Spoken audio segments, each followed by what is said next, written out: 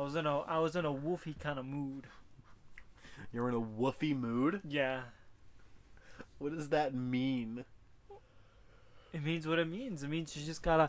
Are you a furry?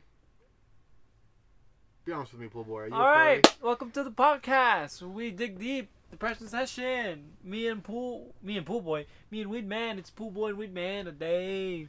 Yes, sir. Welcome back to the Depression Session podcast, guys. It's me, Weed Man, and Pool Boys. Pool Boys previously stated. Today, we're going to be talking about the topic how creativity helps mental health. Now, I picked this topic because it's something that's pretty near and dear to my heart. Uh, being creative and making things is something that I do to help with my mental health, and it's kind of the only thing that keeps me sane. so, Damn. I figured why not make it a topic for this episode of the podcast. But before we get into that, how have you been, pool boy? How has your week been? Um, pretty good. Just had a job call, phone call, An interview. interview? Okay. Um, like three minutes after they we hung up, they sent me an email saying that we're not interested in you. okay. Yeah. How'd that make you feel? Yeah, pretty pretty depressed. How come? Not depressed. Rejected? No, I feel like I, I put my hopes a little too high on this. Fair. Yeah. I mean, a decent paying job for a fun enough job, True. Yeah. and It's hard not to get your hopes up. Yeah. Yeah. I feel that. Yeah. Managing expectations is something that I really struggle with, you know? Mm-hmm. I have a tendency to build things up in my head, and then I get there and it's not that, and I'm like, ah, fuck. Yeah. Well, why did I come here? Yes. Every time I go to a party, I think it'll be different. I think I'll be on the dance floor talking to people. Nope, you just sit there in the corner on your phone. not knowing anyone. Yep. And then the people that I do know are talking to people that I don't know, so I, I feel awkward to go up there. Yeah. and it's like their party, so they're busy nonstop, and they can't have time to entertain guests. And the guests they do entertain, they prioritize other people. Go on. And sometimes, like the food is ready, but you're like you don't want to go up there because you don't want to be first because you don't want to grab the food. Yeah. and then you know it's just like awkward kind of just eating by yourself watching everyone else have a conversation when you're just eating there and then everyone speaks spanish except for you Okay. So this is definitely a personal experience you've had. oh yeah what is fun i had a fun time that's good. That's good. Have you ever thought about working on like becoming more social and be more extroverted? speaking of that yes in fact so i went to college uh, and i figured out all right, I sign, i'm signing up for my classes Okay. and my first class i'll ever have is public speaking Oh yeah, well boy. That's honestly a really good thing to get good at. It and to learn. yeah It's important. hmm it's uh for the winter semester so it'll be an accelerated course Oh, nice. So instead of 12 weeks, it'll be Six. Yeah. Nice. so hopefully that'll make it easier. Hopefully, I think typically not, but yeah, because typically it's the same amount of work just in less time. yeah. Just a lot more talking and a lot shorter of a span. Yeah.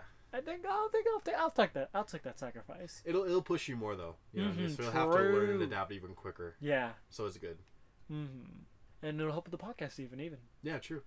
Because it'll help you enunciate and speak properly. More right like properly. like what I just did right now, saying the same word twice. yeah, I wasn't gonna say it.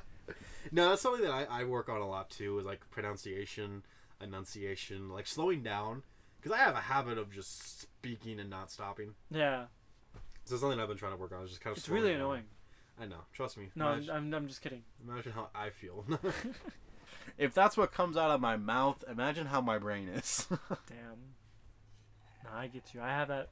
I mean, uh, like, you don't you don't mess up. I feel. When- I mess up a lot with my speaking. you don't think I mess up? Uh, n- not as much as me. Fair. Not as much as I used to, anyway. Imagine my brain. I don't want to. See, the thing is, I think we have very similar brains. It's just I've kind of like, I had to work on it a little bit more because of my serving job. I kind of was forced to have to like slow down and work on it a little bit more. you Mm. Right. know? Yeah. Yeah. Yeah. I just kind of did the opposite. I hid, and I got a job that I didn't have to talk to anyone with, yeah, and I loved it. I know. I, I would too, honestly. Which is kind of why I was hoping for this job, because it it's another out of my comfort zone job. Yeah, Eh, it's a shame it didn't work out, yeah. but it's fine. You could always get a restaurant job. Could. Those really force you to talk to people and really force you to get like confident and like not. It really you you really got to not have a temper. You know what I mean? Like you got to be able to put up with people's bullshit. Yeah. Not that I don't. It's not that I have a temper. It's just that I'm gonna break under the pressure. What do you mean? I I I just I don't want to deal with people Okay. because if I do, and if they like like you said, they're they're bullshit. Yeah. I'm gonna crack. I'm gonna cry in a corner. Yeah. No, everyone that's worked in a restaurant has that moment, Yeah, or a couple moments like that. yeah, Like every now and again, you'll just have a shift where halfway through it, you're just like, I want to go home. yeah. and then you you clock off. You sit in your car and just sit there. I think I, I'd rather get a job of what I'm good at, what I've been working with, yeah. which is just janitorial. Yeah. and you know it's what i'm good at it's what i know but man i just can't find one Yeah. No, custodial's kind of a it's kind of a hard thing to get into. It seems like because I feel like everyone stays in the position. Yeah 'Cause I feel like it's, it doesn't have a high turnover rate like a lot of other industries do. Like restaurants have an incredibly high turnover rate. what does that mean Uh, basically means they're constantly hiring people, people are leaving or firing. It basically means they're constantly like rotating employees. right Like there's been so many employees of the restaurants I work at that I can't even count them or remember half of them. fair Because people come, they either don't like it and leave, or they come and they move to different restaurants. There's a high a high turnover rate just means there's constant people coming and going. mm-hmm. With custodial, I feel like people just get the job and just stay there. Yeah You know what I mean? you're right is that a bad or a good thing um, I mean, it's good if you can get the job because that means you can stay, but it's bad because it means it's a little bit harder to get the job. mm-hmm. which is what uh I just want to find a decent paying job. I had a few opportunities, but I don't want to take a full time job with college. That's fair. Yeah. Because I don't know how my brain will handle it. Yeah. No, that's. I've heard horror stories of people doing it, Yeah. It's definitely possible. and those people are like, they're they're smart. Yeah. Those are people I can fully expect them doing really good and stuff. And me, You could do it. I could, but I don't know. See, Lily, the the vast majority of life and like what it's about is just being disciplined with everything, and also believing in yourself. You know what I mean?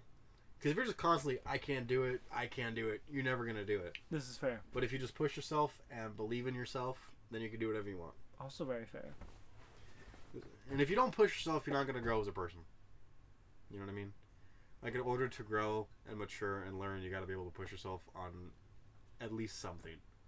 Right. Because you're not just gonna grow and learn just sitting sitting down at home. You know? This is very true. This is very true. I'm tired. I'm not tired. Creative stuff. When you're tired, you write. When you're tired, you do stuff. Art. Yep. Art, yo. You gotta push yourself. On your worst day, you need to be able to outperform your enemy on their best day. True. Sun Tzu. That's some Sun Tzu shit right I there. think, uh, I think it was Andrew Tate, but yeah. I think that's where I heard that.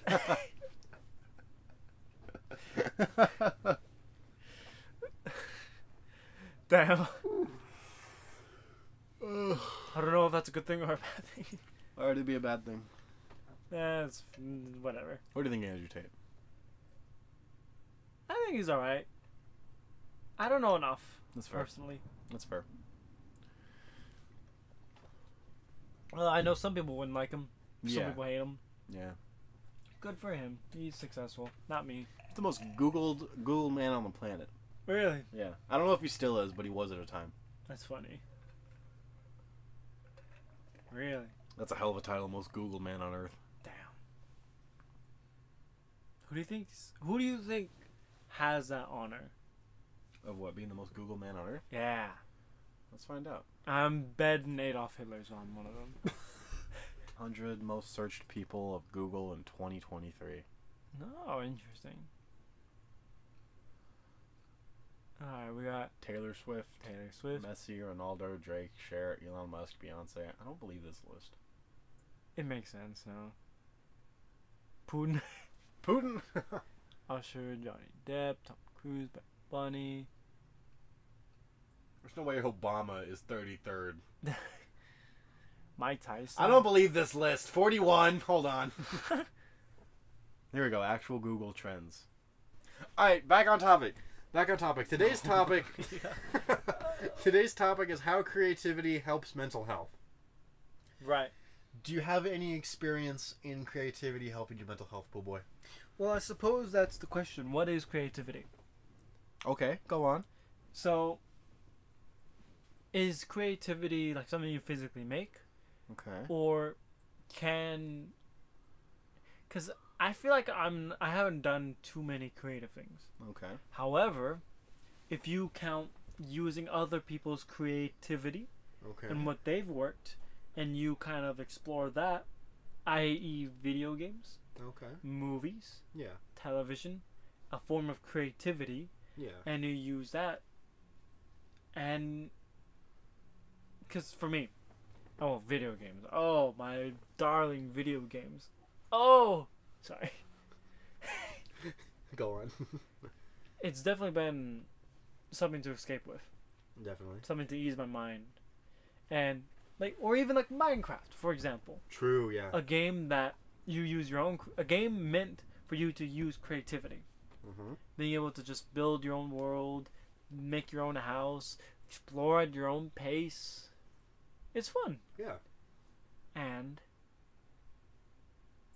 it's definitely it's definitely helped Yeah. during times of loneliness especially like playing with friends online True. Yeah. True. or any other game Okay. But in terms of like doing creative stuff, like I mean, I guess the this podcast True. Yeah. is a way of expressing creativity, and it connects us, Yeah. Definitely. connects us and the boys. We have a lot of fun doing it. True. Uh, it's almost like a communitive thing. What do you mean? Well, because like we we work on it together, Yeah. and it increases our bond together. True. Yeah. It definitely does. It's like I can feel your heartbeat when I'm on this podcast. Good. That's what I want. I can looking at your lips. I can imagine what they taste like. Oh, really? Yeah. Well, you don't have to imagine it if you don't want to. I think it's part it's the fun of imagining it. Like wondering Damn. the fun is imagining what it tastes like. Cuz like kissing you, I'd probably be really disappointed. Cuz it's probably not going to taste what I think it tastes like. Right? what do you think it tastes like? This is a good question. Mm, right now, it, it looks a little looks a little dry. Yeah. Hold on. hold on, man. I get it. Fuck you. I get it. Probably tastes like a cactus with a hint of weed, with a hint of that good kush, a whiff of that marijuana, uh, a hint of the good stuff. Please stop talking.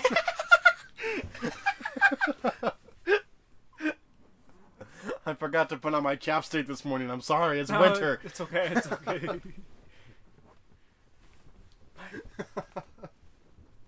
Where was I? So you went. So I asked you how creativity helps mental health, and then you started talking about video games and Minecraft, and then you started talking about kissing me.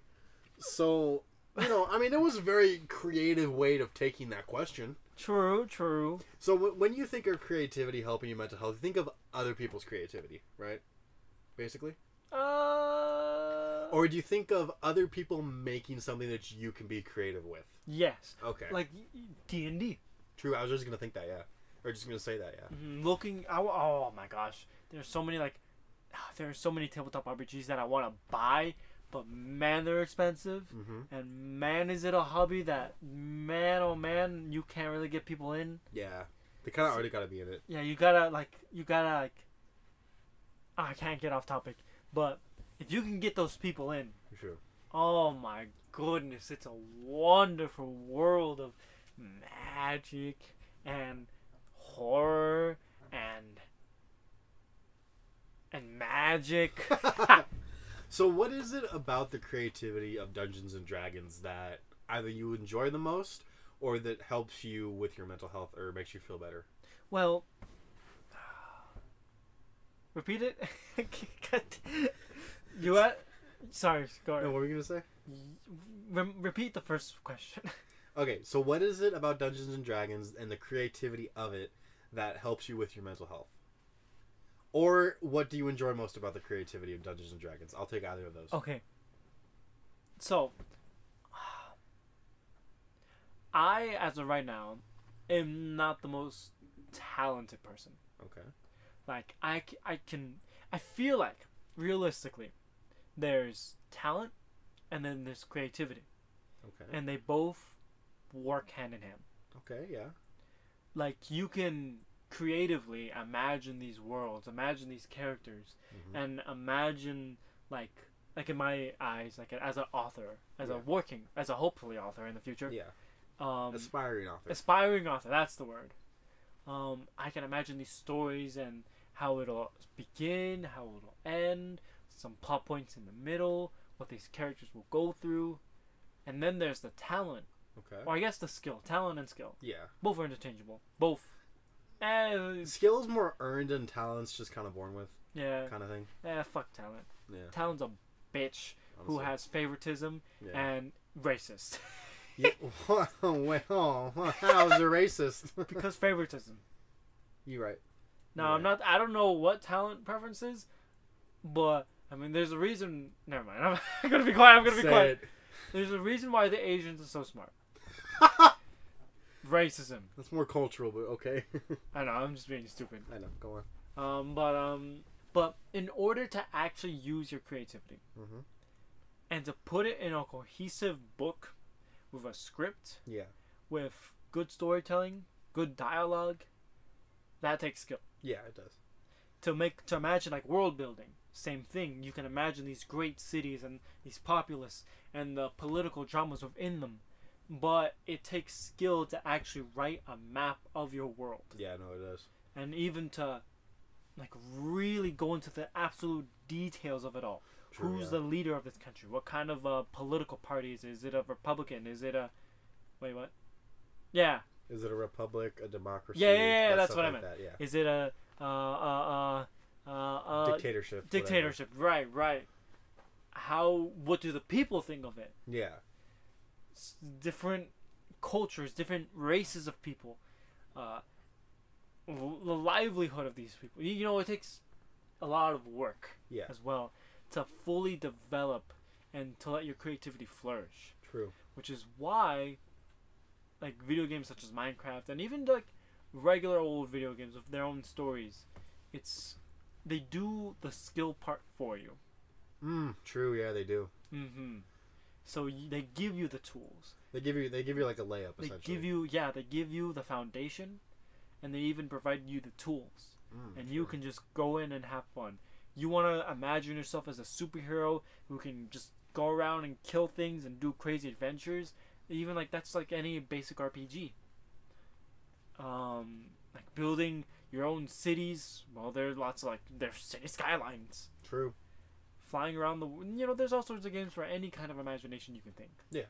however that is why it is so fun for me that is my desire to be an author because there are some things where it's like ooh i like this part of the game but i want more Yeah. i want this in it or i like this but i don't like that Okay.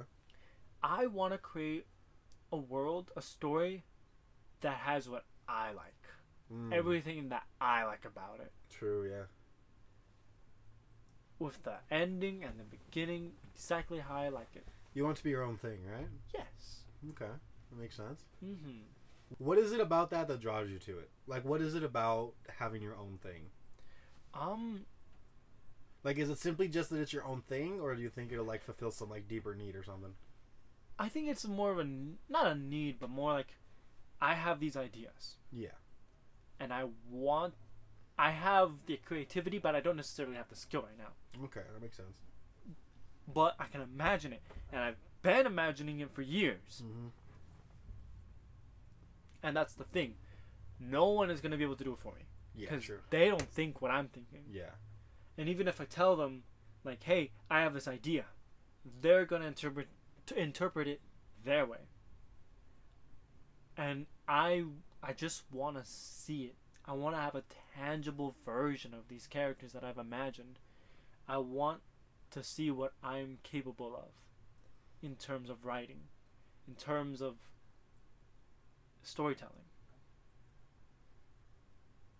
I just I want to make something that is imagination into a reality. Okay, that's really cool. Mm-hmm. And I get that. I get that. What you mean um, about the whole like creativity versus skill thing. Mm-hmm. That's kind of why I struggle to make things sometimes, is because what I creatively make up and imagine in my head is perfect, and it's exactly how I want to do it, and my skill doesn't line up with it. So I have a tendency to get burnt out and frustrated because it's not Yeah. exactly how I want it to be. exactly. That's something I really struggle with when it comes to creativity, especially with music. That, that's part of that's that's the main reason I don't really make too much music, is because I think of the song in my head and I want to know how it sounds and I have the specific sound that I'm chasing, but I don't know how to make it, and so I just get kind of frustrated and just like, why am I bothering? so Yeah, that that's the biggest learning curve out of everything. yeah. No, what you're gonna make in the beginning is gonna suck. Yeah, It's gonna be trash. it's gonna be bad. Yeah, no one's gonna like it. But you're gonna have to do it. yeah, yeah. That's gonna be the way it is. Which is also why I like tabletop RPGs. Because they kind of give you a story to work with. Specifically D&D and it's like modules. They give you a story, you can alter it, but it's more than enough. okay. Which is why the time I feel like I did DM, I did DM a few times. Yeah, Um, it was a lot of fun and it worked pretty well. they did pretty good. Mm-hmm. You did pretty good. I was only there for like one session, but I liked I True, liked what you true. did. hmm I want to get back into it. I just bought a whole other tabletop RPG, Dolmenwood. I am, I'm fucking. Mm, I can't wait to play it. Oh my god, I I I want to play it so much.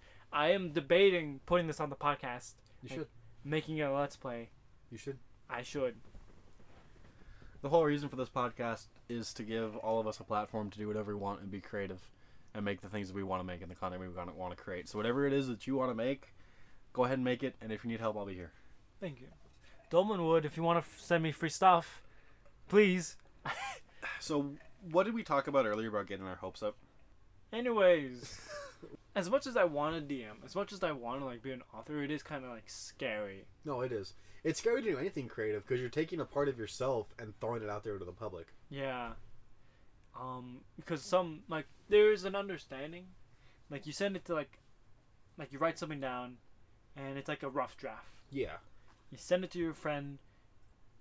You know that's what's nice. You gotta have The confidence, the mhm, bravery. the confidence, the bravery to send it to people you trust, Yeah. and how do I put it? Be brave to accept criticism. True. Yeah. It's hard to accept criticism. It is, especially especially when it's so Close to you. yeah. Yeah. When the art when the project is so close to you, and when the criticism is especially harsh. Yeah. No, I get that. Mm-hmm. Cause like It almost feels like they're rejecting you and not the work. yeah, You know what I mean? it's not even that. It's just, it's just it's just like a gut punch. Yeah. True. It's just so like like it just hurts. Oh yeah. There's no real explanation, and there is an explanation, but it just it just hurts. Yeah. No, it does. It really does. Mm-hmm. I had that in the beginning with my music, uh, where everything was so fucking. Some of those songs I'll go back to and listen to, and it's like, oh my god. At the time, I thought they were bangers, but and it's like if anyone would like criticize it, it would it would like physically hurt because that music was so like personal and private to me Mm. that it felt like they were rejecting you know, me more than the music. especially hurts when you think it's good. Yeah, yeah. Because then it's like, oh well, the other stuff I made that I thought was good is it not good? Mm-hmm. But you gotta keep on going. yeah. You gotta push that fear aside. Why don't you go ahead and ask the next question, pool boy? Is this is true. Um, so It could be towards me. It could be just in general. It could be something we both talk about. You know, whatever the whatever the next question is you want it will be what it is. it kind of goes back into our last session about like the internet and Mhm. how like social media. Okay. Do you think with the help of social media and more of the help of the internet, more that communication and imagery is so much more widespread? Okay. Do you think it's made the the mass, the people, like the average guy, Yeah. more creative or less creative? Ooh, I don't know. Um. Because there's there's two sides. Yeah. Because one, we see other people's work Yeah. and we get inspired. Mm-hmm. Like, how do I put it? Like video games. There's a, a thousand kinds of video games, and like for video game developers, you see these games and you find inspiration. Yeah. In fact, that's it's it's it's so much easier to find inspiration from things nowadays. Oh yeah, totally. And with all these kinds of different forms of creativity, like like art, like just general painting, there's digital painting now. There's digital art. There's safe for work, and then there's not safe for work. but so you have so much options, yeah. but because you have so much options, it's a little fearful. Eh, Actually, no. You go ahead and explain it. So, the way I see it, right, Mhm. is that yes, it's true that there's a lot more creative things being shown to us, so we can get we can get inspired and find our niche easier than ever, right? Right. Because before you could have been into, you could have been into rock and roll, right? Mhm. Back in the '60s and '70s, but you could have lived in Europe where it wasn't as big, or at least it's not the same type of rock and roll that was in America, right? So you had no clue that was your niche and that was your true passion and your talent. But now you can find that, right? Right. However, everything is so oversaturated now that everything, all the good people and everything that's perfect is always what's shown. And so I feel like for a lot of people, they see that and they're like, oh, well, it's kind of already figured out, or oh, I'm not as good as them, so why bother? You know what I mean? So I think it, I think it escalates the natural fear that people have with being creative, and it can lower confidence. Does that make sense? Yeah, it does. and then it is it, the other side of it right is it social media and the internet gives everyone a platform and so there's a lot of people that think they're good but they're not and so i think it can lead to kind of hyperinflated ego and cause people to not work on their stuff as much because they have all these fake followers and stuff Right. so what do you think about when you get good at something creative it brings a feeling of pride Right. What do you think of that? Like, has there ever been anything that you sucked at that was creative that you worked on and got good at that you could be prideful about? Because that's my biggest thing when it comes to being creative and making things. It's like, don't get me wrong, I really enjoy the process of it, the creativity, the the brainstorming, the recording, the editing. I enjoy all that. But my favorite part about making anything is the feeling of completion and saying, "Hey, I did that." and I like it, and that sense of pride that I get that said, "Hey, I made something." Yeah. That's what I enjoy most about creating is the finished product. Right. What were you asking? Like, what's the exact question? Have you ever made or done anything that Uh, brought you pride, Have I ever made anything like creatively? creatively? Most of my songs I've made so far True. have been trash. I wouldn't say that, but okay. Maybe like one song. Well, no, because you made um, you made quickly now. That's the one I was talking about. Okay, that's a good one. What was the other ones you made?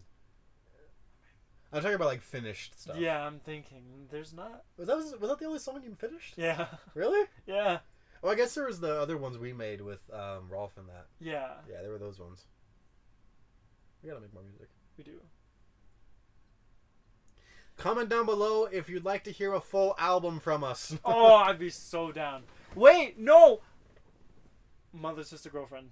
Mother, sister, girlfriend. Yes, I'm proud of that. that I I am proud of that too. Even though it was entirely random and off the top of your head, it turned out fucking phenomenal. That's why I love it. How improvised it was and how well it worked. It's so funny.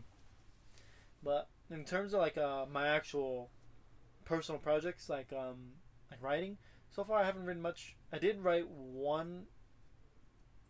Wait, I, no, no, I've written two things. Okay. I've written kind of like a beginning of a story Okay. that was kind of trash, Okay. and then I wrote, I guess, a small poem that I've never showed you actually. Oh really? And that one I, I showed uh, my girlfriend, Okay. and she said it was really good. nice. She liked it. Um, I can't think of like on a on a scale on like how logistically, well, like realistically good it is. Yeah, I get you. But I think was, I'm proud of it. Would you want to share it to the podcast? Ooh, you know what? Fuck it. Poem time, baby. I am alone again. Everyone is everywhere else, and I'm stuck here. Here is where I am. No one wants to be where I am. Where I am is far from everyone else, and it's lonely. Very lonely. And yet, I'm happy here. I must be, right? Why else would I stay here? I can leave. I have no strings. I have control of myself. Why do I stay? Someone else has come here to visit. Here, where no one else is. Why are they here? The place where I am alone. They want me to leave with them, to the place where everyone else is. They try to move me. Do they not know? I like it here. I have no strings. They cannot control me. Now I know why I like it here. Here is where I have control. I control here because everyone else is there and not here. It is here I feel safe. They are leaving now. Back to the place that is not here, but where everyone else is. I wonder why they came to visit. It does not matter. I am happy here. I must be, right? I am alone again. Very good. I liked it. It's very good. I liked it. Uh, I have no idea how to write a poem. I just put some fancy words together. I think it sounded good. So, what was the what was the inspiration or the meaning behind that? What was it about essentially? Uh, it's about how I am antisocial Okay. and how I low key desire to not be antisocial and to communicate with people. Okay. But then when I do, I panic, Yeah. and so I go back into my little shell. Okay. And the extroverts that I know in my family, or just people I know, they say, "Hey, you want to come to this party? You want to come hang out? Why are you in this corner when there's a whole dance floor over there?" Yeah. And then I'm like, "Nope, Okay. I'd rather be over here okay. alone." And then I start to pity myself for being all alone, even though I did it to myself. Okay. So it's basically just like being stuck in a perpetual cycle kind of thing. Yes, Exactly. A brought on self perpetual cycle. Mm-hmm. Okay, that makes sense. I feel that. I've done that a lot in my life. I really have. Uh, that's something I still kind of do. Um, so I get that, my boy. Poetry. It's one of those things you just kind of got to work on and push yourself out of. Mm-hmm. It literally, that's all it takes is just forcing yourself out of. Uh, that's why I'm taking the public speaking. It's good. Bunch of strangers. Ah, I have no idea what I'll talk about. I don't know how that class will work.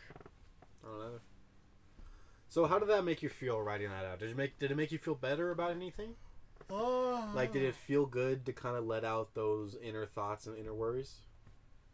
Mm, I suppose in a way, it was nice to put it and write it down. Yeah, put it into words. Yeah. And I'm, I'm, I was fairly certain that it was something that meant people could relate to. Oh yeah, I, I did. Mm-hmm. And I wondered if, how I put it, like um. Well, mainly I wanted to write something to see how good at writing I am That's fair. in in a story, s- or not in a story. I don't even know in a poem sense. I get what you mean. You just wanted to write to see if you could do it. Yeah, I wanted to see how well I could express my feelings, That's good. and I think it went pretty decent. I think it went good, honestly. Especially considering, because that's like your first time writing a poem, right? Oh yeah, E- Especially for a very first poem, I think that's very good. Genuinely, I think it was very good. thank you. You're welcome. Send it to me. No. Send it to you. Yeah. You got it, boss. You've read that one poem I wrote, right? Oh yeah, that huge, the one in high school. No, it wasn't high school. It was after high school. But the really long one, Yeah, I remember that one. the um, I'd paint your name with the stars if I could. I believe so. Yeah. Do you want me to reread it? No. Sure, I'd be down. Depression poetry session. Yes. She was a free spirit, bound by anxieties, so many goals and ambitions of her true self, all chained back by fear of failure and disappointment.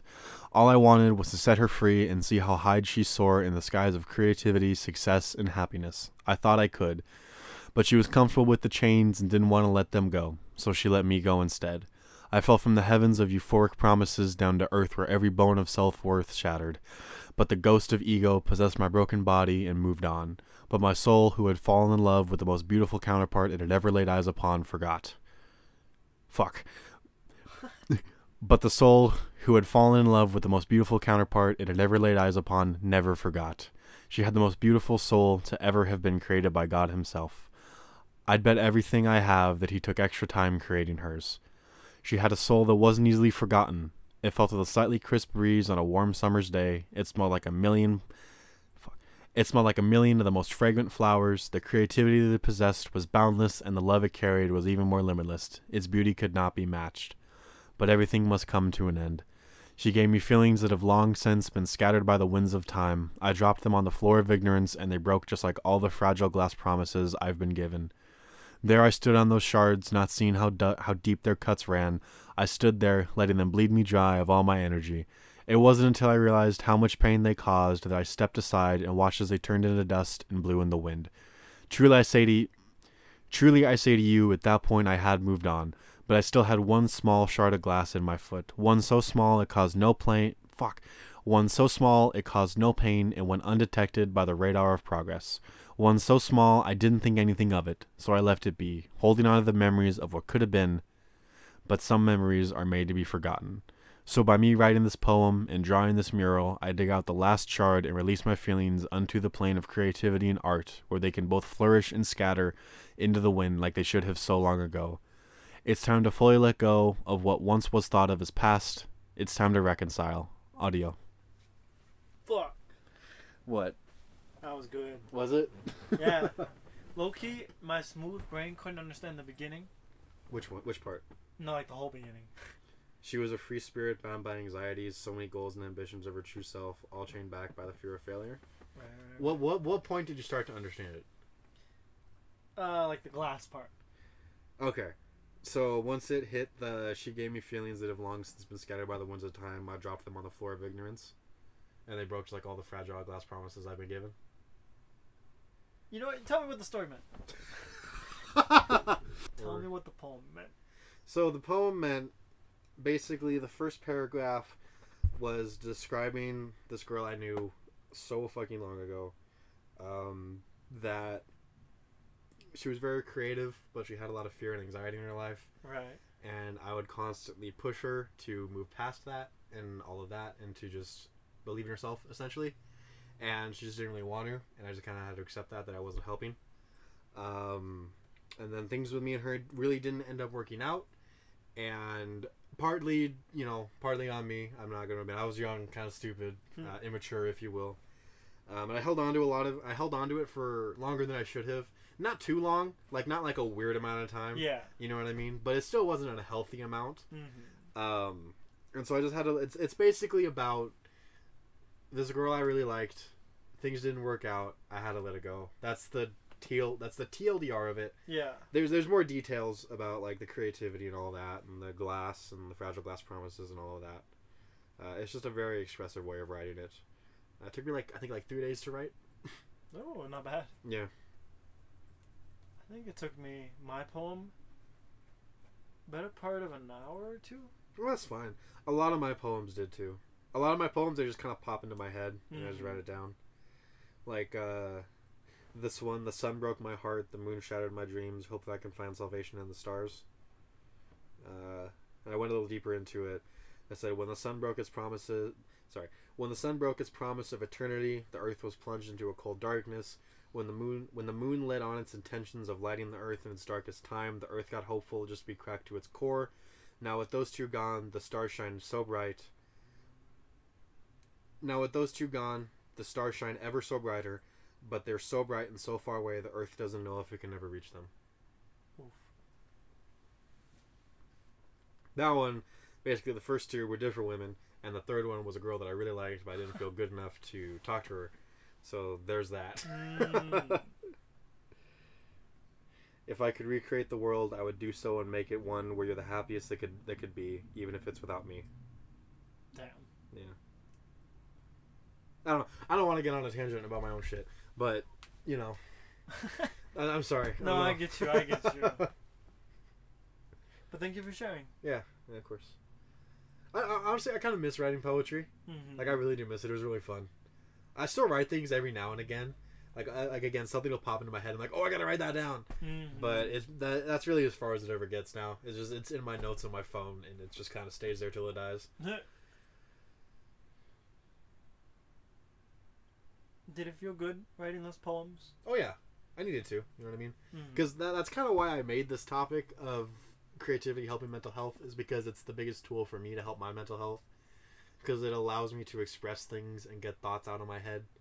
Because I think so many fucking things all at once that things kind of build up, and so I kind of need something to release my thoughts onto. Because otherwise, I'll go fucking crazy. like I just I need to have that release of things to create and get ideas and thoughts out of my head, and help me process things and kind of work through things Right. because I'm not that good at processing emotions on my own. Mm-hmm. It and it's not really that I'm bad at it. I just kind of choose not to. I don't. I just don't devote time to it. And so, like, if I can create something with those feelings, it helps me a lot faster and a lot better. Very nice. Yeah. Poetry is weird. Do you like it? I don't know. You like some of it, but not all of it. Yeah. Yeah, that's fair. That's how I am too. Like the poetry that's like super super wordy, I can't understand it. Like there's some poems I'll read that I just don't understand what the fuck they're saying. Mm-hmm. All right, well, with that tangent aside, I think that'll go ahead and wrap up this episode of the Depression Session podcast. Thank you guys so, so much for watching. I hope you guys enjoyed. Now, that being said, Pool Boy, do you have any questions, comments, concerns, anything you wanted to part on the audience? I hope you enjoyed our poetry. Okay. Uh, give us your criticism in the comments below. Yes, please do. Tell us if you hated it. Okay. Tell us if you liked it. Yep. Tell us if you want to buy it and sell it for Tell millions us- of dollars. Tell us if you loved it, if it made you feel things, if you took your pants off to it. I'm sorry, Pool Boy. No. I think I took my pants off when I was writing it. My Did you? Yeah. Yeah, I did. I did things to it. you did things to it? Passionate things. Really? Passionate things. Mm-hmm. What kind of passionate things? A little candle. Really? You lit a candle while writing it? It was that passionate. Damn. You get on the, the satin pajamas, you get in your silk Mm. sheets, Yeah. right, with your feather quill and your parchment paper. And my spank, ha- my little spanky uh, handle tool. What? Yeah. Passionate. Your sp- you- oh, you mean like a like a Spank paddle? paddle. Yeah. you had a paddle? yeah. Damn, I'm just imagining you in your room, just all candlelight, satin pajamas at your desk with a with a quill and parchment papers. And it's half of you just go, yeah, yeah. It has the word daddy on it. oh, no. Poetry daddy. All right, well, I think I think with that image burned into everyone's mind, that'll go ahead and officially wrap up this episode. Thanks again for watching. Come back next Monday at 12 p.m. for the podcast episode. Come back Friday at 12 for a gaming video, and come back Wednesday for a special Wednesday videos. Typically vlogs or gaming. It's kind of up in the air. But subscribe if you like it, and remember that just like this podcast, depression is just a session, and it too soon shall pass. So we'll go ahead and see you guys back here next Monday at 12. Goodbye. Goodbye.